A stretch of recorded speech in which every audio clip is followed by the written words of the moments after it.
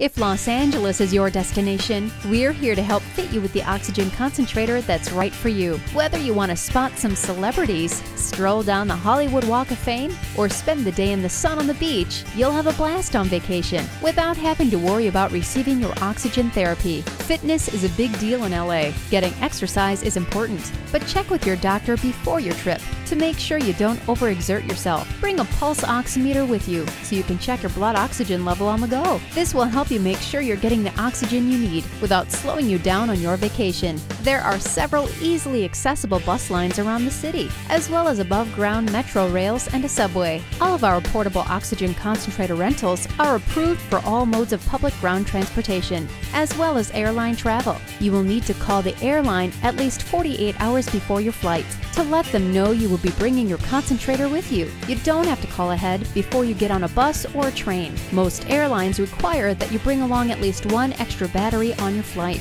or another power backup for your portable oxygen concentrator. You should always plan for flight delays or other situations where you will need to use a fully charged backup battery or external battery. Please contact us regarding any questions you have traveling with a portable oxygen concentrator. When you breathe easier, we breathe easier.